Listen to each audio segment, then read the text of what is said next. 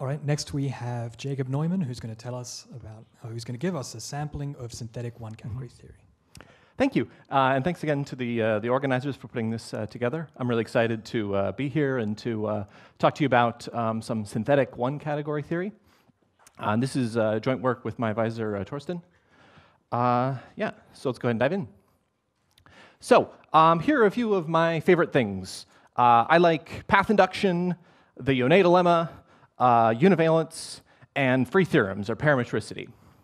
And so my goal in this talk is to uh, kind of spin together a wild theory for you uh, that's going to connect all these different dots. And so the theory uh, that I claim does this uh, is the directed type theory of uh, the category model. Uh, and so let me give you a quick warning, is that the, this is a work in progress. So um, I have a preprint available here, uh, which kind of spells out the, the like core details of, of, of this construction, but some of the, the more ambitious uh, applications and connections are, are not there yet. Um, eventually it'll be on the arXiv uh, once it's a little bit more complete. Um, so yeah, feel free to, um, um, you know, I'm, I'm eager to hear if there are any, anything that strikes you as uh, obviously false or, or uh, problematic. All right, so the, uh, the category model, uh, which is going to be kind of the setting for, for, uh, for all this. So if you've seen any of my, uh, if any, of you have seen my, my uh, talks before on directed type theory, you'll know my usual thing is I, love to take the groupoid model and uh, replace the groupoids with categories. Uh, and that's what the category model is.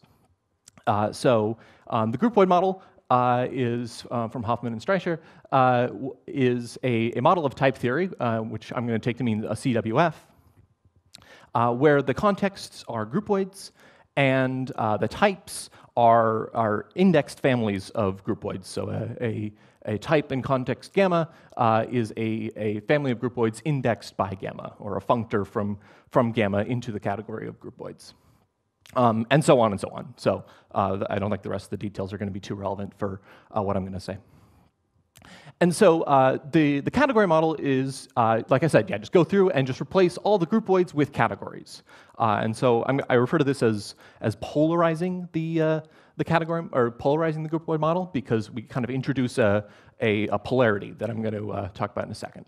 Um, but yeah, so our contexts are, our categories, and, our, and a, uh, a type in context gamma is a, a family of categories indexed over gamma.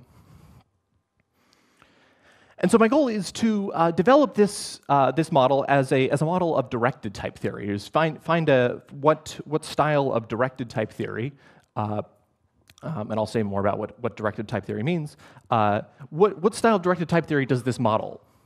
And specifically, I want, to, I want to apply this directed type theory to do uh, synthetic category theory. So we know that, that the uh, usual type theory, and, and uh, for example, the theory of the groupoid model, uh, is a synthetic theory of groupoids. And so this ought to be a, a synthetic theory of categories. So uh, there's kind of two, two uh, um, kind of styles of, of directed type theory out there. Um, the, there's the one, and I, I think I have some of the references at the, at the end. Um, there's one style doesn't doesn't do this, doesn't uh, doesn't have a kind of modal type, typing discipline for for covariance and contravariance. Uh, and so, like the works of, of and Shulman and uh, Weaver and Licata, uh, some of the some of these theories uh, don't don't do what I'm I'm going to do here. Uh, but the the style of directed type theory that I'm doing here, um, which is kind of following the work of of um, Licata and Harper, um, adopts these polarities. Uh, and so, uh, in, so we have kind of two kinds of, of polarities, two kinds of negation. Uh, one on, on contexts, or the kind of deeper one. So for every context, I can negate it, uh, and to get a negative context. And for every substitution, I can also uh, negate it to get, to get a substitution between the negated contexts. And this, this arises naturally in the, in the category model um, as just the, the opposite operation. Uh, so for every, for, so remember contexts are categories, and so for every context I can uh, take its opposite. And that's, that's really how this is interpreted, and then just rises to the level of a, a functor from categories to categories. So this is the one, one kind of, of negation that we have uh, in, the, in the category model. Um, but, uh, and I call this one the deep, deep polarization, or the deep negation. Uh, but we also have a, have a shallow one, uh, which is the, uh, the, the negation on types. And so this, this is the kind of negation that you see in like uh, Paige North's paper on directed type theory, uh, where we can also, within a given context, we can uh, negate types. So for every type A, we have a, a type A minus. And this is interpreted in the category model just by post-composing with the, uh, uh, with the type uh, negation operation. And so these, these are all tied together uh, by having a negative context extension operation. Uh, so for every, for every context and for every uh, type in gamma minus, I can extend gamma by A to get a new context. And we have this nice, nice law that, uh, that ties together uh, the negative context extension, negative contexts, and negative types and negative substitutions. So it kind of ties it all together. I'm not going to really say anything more about, about this, uh, this, uh, um, this law today. Um, but if you're here tomorrow, then you'll, be, uh, you'll get to hear from me again, uh, where I'm going to talk all, a lot about this, uh, this particular law.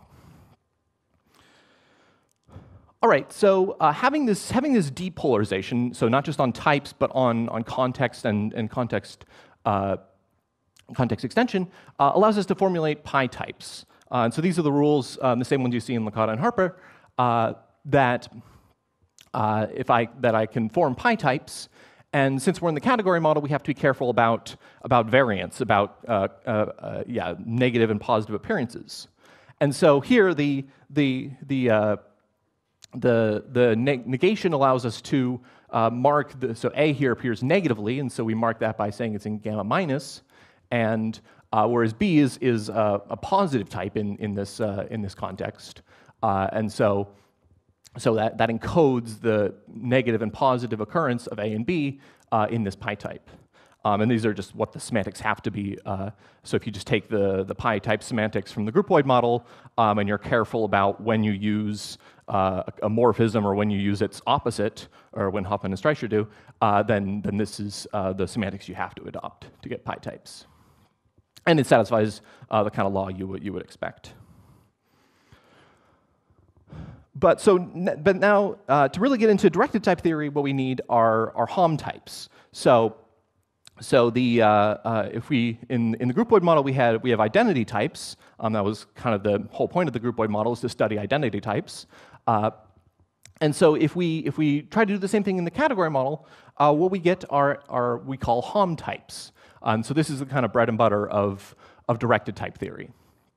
And so here again the uh, the uh, now we're using the shallow uh, polarity to, to mark uh, the negative and positive instances. So here, if here T is a, a type in A minus and T prime is a, uh, a term of, of A, uh, and then given that, I can form the type uh, of Homs from T to T minus. And so, uh, yeah, like I said, uh, so the, th the kind of thing to note about this is that, uh, is that these are not symmetric. Uh, so if I, in the, in the groupoid model, you know, if you have an identity from A to B, or from T to T prime, then you get automatically get an identity from T prime to T. But you can't do that uh, here. These are, these are not symmetric in general. And so our, our, our simple counterexample is in the empty context. Uh, in the empty context, a, a, type is just a category, and a term is just an object. Um, and so we can come up with, with uh, plenty of, uh, of examples, like the walking category, for example, uh, where we have uh, a, morphism from, from one object to the other, but not, not, not the reverse. Um, so these are so this this is a, a counterexample to show that you can't you can't prove symmetry. So all the uh, all the stuff that I'm going to spell out um, going forward is not going to allow you to prove uh, the symmetry. So these are, are genuinely Hom types and not identity types. Uh, and then another thing to note is that uh, these can be iterated, uh, and so the uh, so we can have Homs between Homs between Homs between Homs, which is of course what we want. Um, but this is this is the the category model, uh, and so the uh, if we iterate very far, we we uh, it trivializes pretty quickly. And so if I have Homs between Homs, they they are unique. So in the same way that the groupoid model violates UIP uh, at the first level, but, uh, um, but validates it uh, one level up. Uh, same thing here. So I can have multiple Homs between two given uh, terms, but I can only have at most one Hom between two given Homs. And they also are symmetric. Uh, and so we get back uh, basically identity types. Uh, and so I'm going to write identity types for these. Um, and this is going to be, of course, important for doing synthetic category theory because the, uh, uh, um, if I want to talk about category theory, then not only do I need objects and HOMs, but I need identities between HOMs in order to state the, the equations that are important. Uh, and so I, I do have that uh, here. All right, so the other, the other ingredient that we really need in order to, uh, in order to uh, get started here uh, is directed path induction. So the whole, the whole idea here, the whole idea of synthetic category theory, is that we want to be able to do uh, category theory in a type theoretic setting, uh, which will allow us to uh, use nice tools like path induction in order to make category theoretic arguments.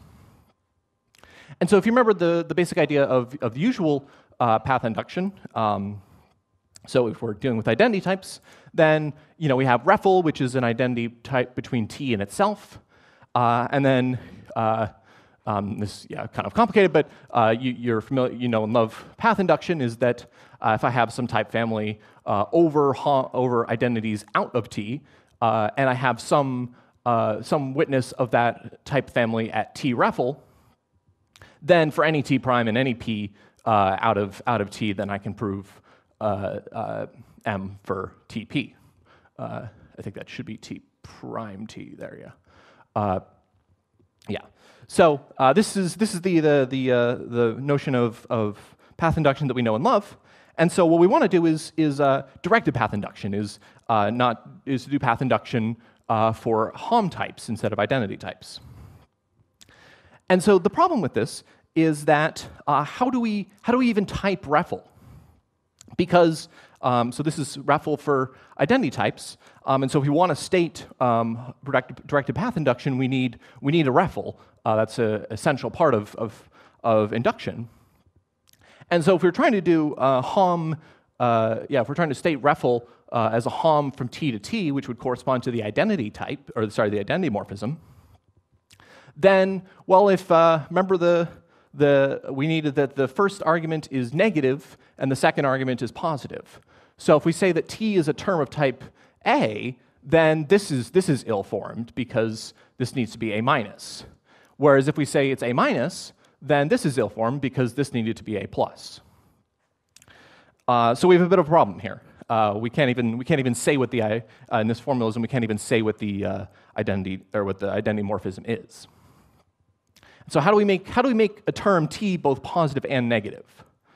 Uh, so the, the kind of traditional solution to this um, is to use core types. Um, so this is the, the, um, the, the uh, approach that, that North uses um, and, and, develops kind of fully, uh, is that we have some further operation on types, uh, a core, so if I have a type A, I have a core, uh, which I interpret using the, the core the core uh, operation on, on uh, yeah, the greatest subgroupoid of a, of a category. And then uh, you, can you can show that you know, any, any given uh, any term of such a core type uh, can kind of be coerced into either a positive or a negative type.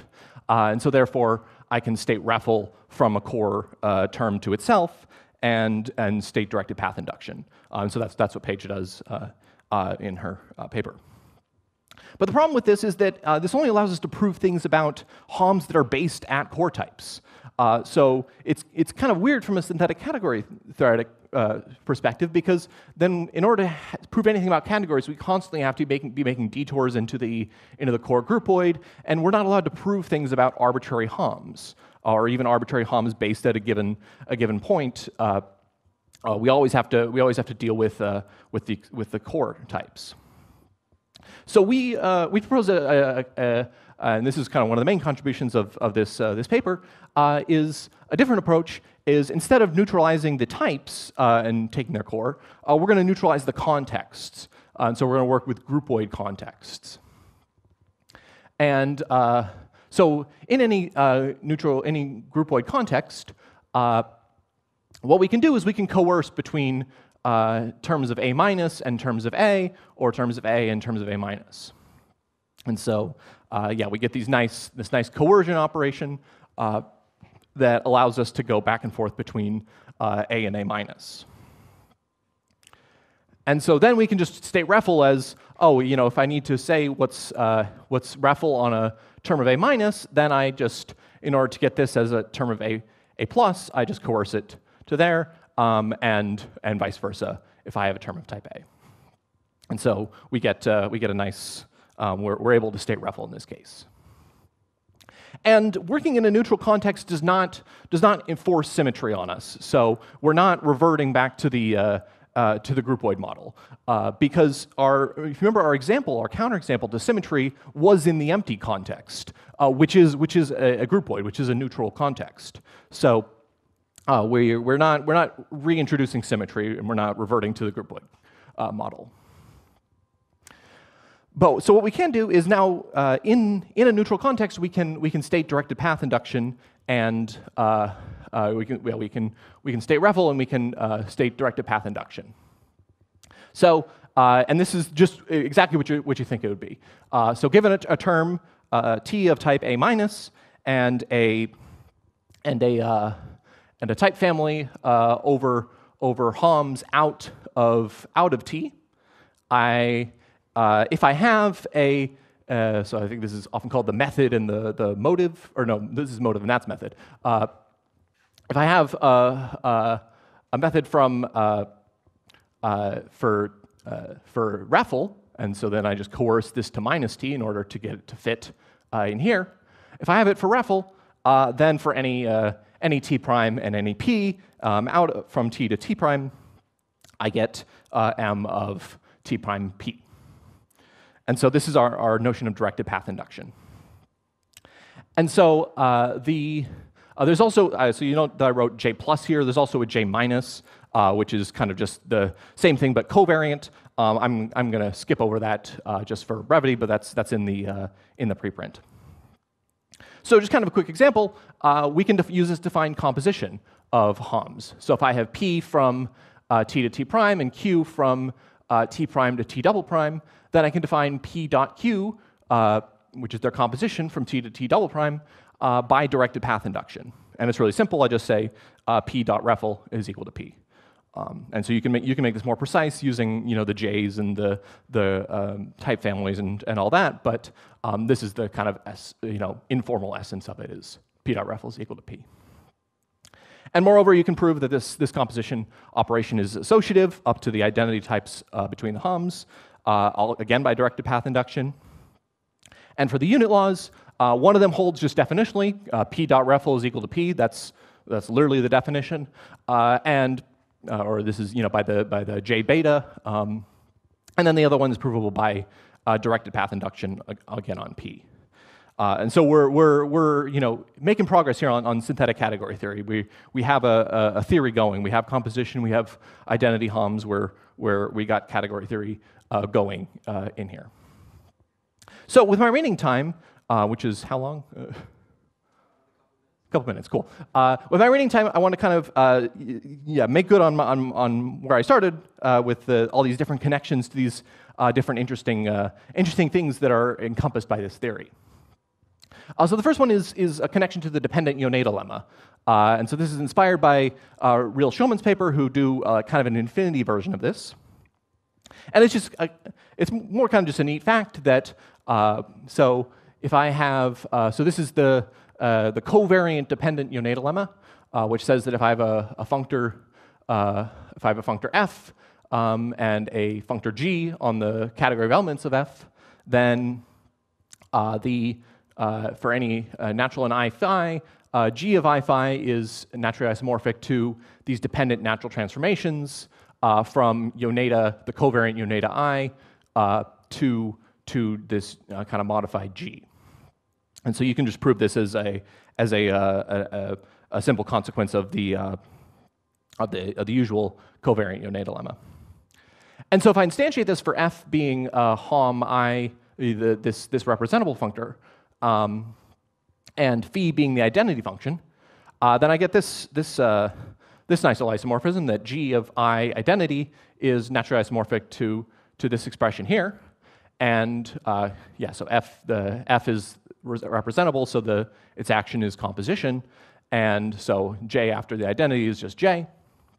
So I get this, this nice statement here, which, uh, if we look at it, uh, so this, this direction is just evaluation of the identity.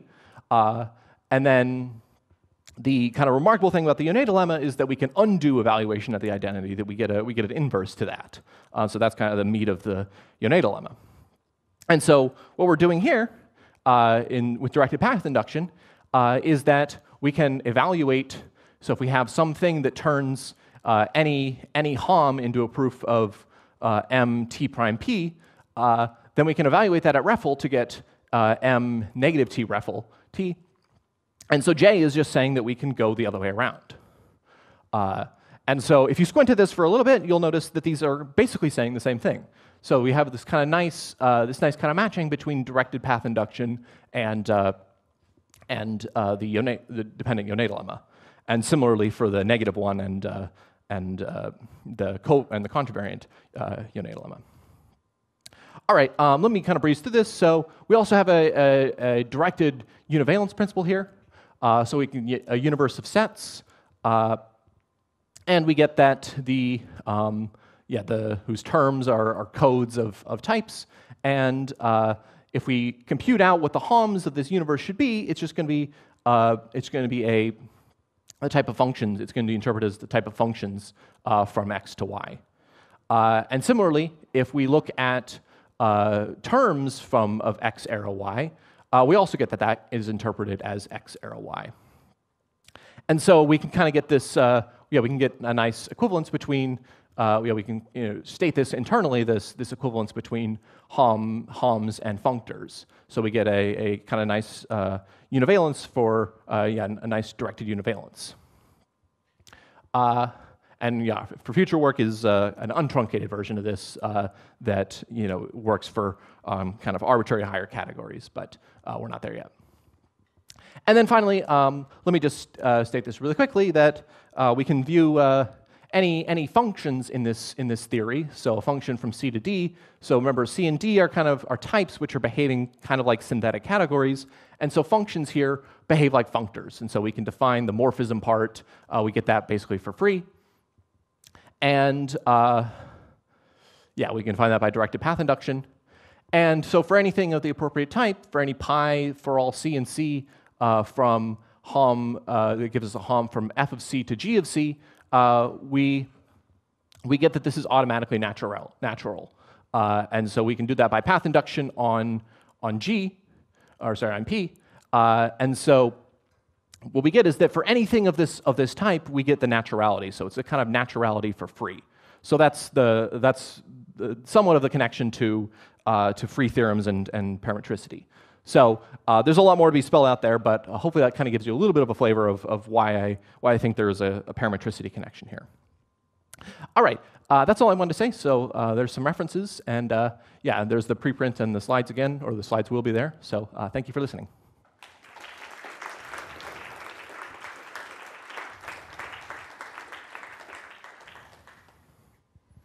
Are there any questions?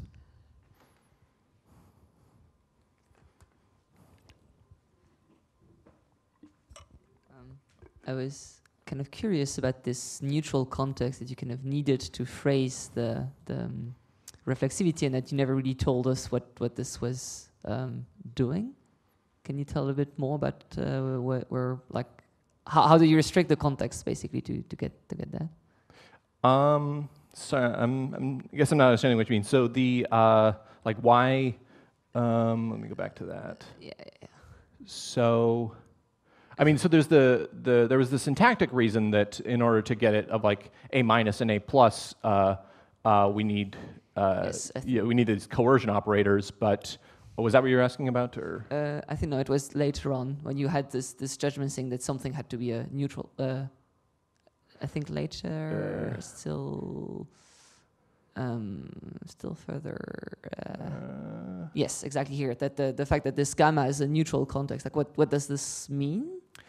Yeah. So, um, so I mean, so so neutral context means means groupoid. So this Yeah. that's like, uh, uh, and to kind of make this fully precise, and then uh, I'm glad you asked about this. So, so to make this fully precise, we'll probably we'll need some kind of uh, like zone context theory or some kind of like modal theory to make sense of of like different kinds of, of contexts. And so that's that's definitely a, a big kind of piece of future work here. Um, uh, but so as as for why we need to restrict to neutral context in order to define uh, this this.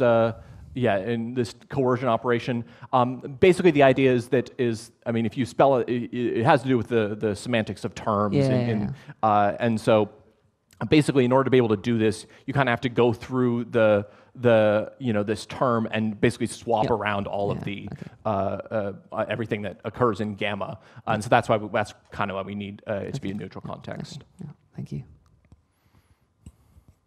Uh, does that, just out of curiosity, does that mean you're also going to need a notion of like neutral type, neutral term, and everything like that to build the neutral context out of? Probably. Um, I'll, I'll, yeah, I'll, I'll say a little bit about this tomorrow, but um, yeah, I, I suspect that uh, in order to in order to yeah make make reasonable sense of, of, of this like neutral context, we'll need uh, also need we'll also need to bring in core types.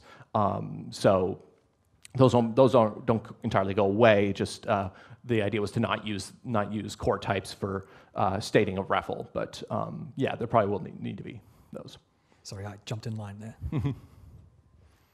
So I, I also want to uh, remark on the neutral context, but the rest of the talk was, was very nice, I think. Um, but for the neutral context, I think it is, if you have a neutral context, you're using it here as a groupoid, so you're applying basically the forgetful functor, which I believe is left adjoint to the core. So there is some dependency involved here, but I think in the end you are anyway taking A in the core, like little a in the core of big A, because you're coming from the from a groupoid. So the only thing you can actually use is the core. Hmm. Yeah, no, you, I mean, you, uh, so th- I mean, that, um, but m- maybe I'm not understanding you, but the, the, uh, that was the point of, of the, like, the, the counterexample. The symmetry happens in the, in the, the empty context. Yeah, I'm, Uh, I'm, ju- I'm just saying that I, I think this cannot be more expressive than, than the approach of Paige, where you take the core of A, because the fact that like the little a semantically is something that comes from gamma, which is a groupoid and goes into A, but you can never actually use a non-invertible morphism that lives in A because you're coming from a groupoid. Hmm.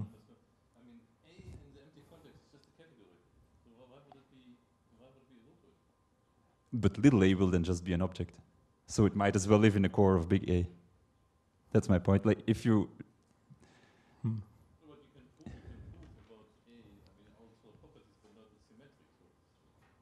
No, but in the same way that you could say here, if I can go from gamma to A, then I can also go from gamma to A op. I can similar say, similarly say you could also go from gamma to A core by taking the core of domain and codomain.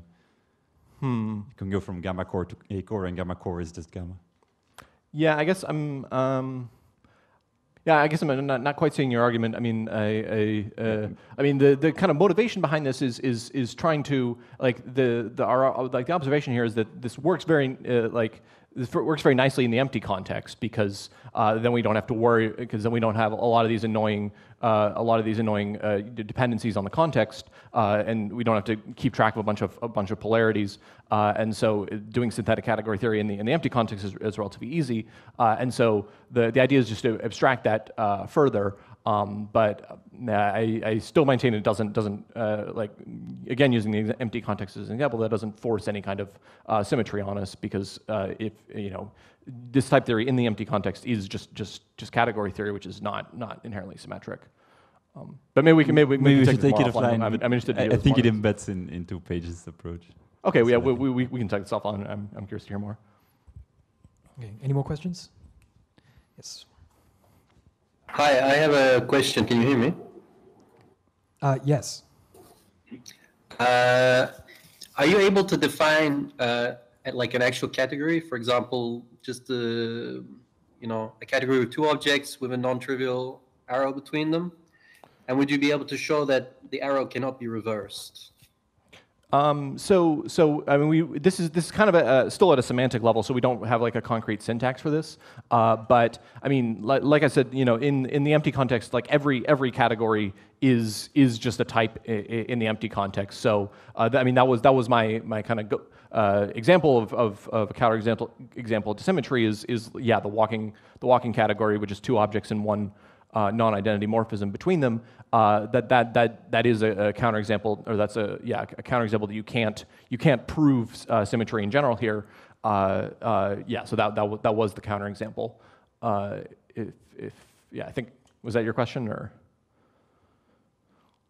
I mean, I'm, I'm asking if the, the theory is strong enough to say that uh, you, you can prove that you can't prove symmetry in that sense. Hmm. Can prove. Uh,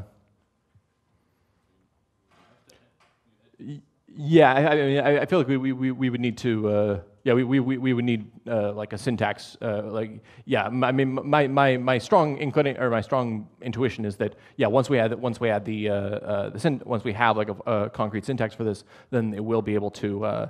To demonstrate those, those kinds of things, and you know, we'll be able to develop these specific counterexamples internally in the theory uh, or in the syntax. But like I said, we're, we're not quite at that point yet.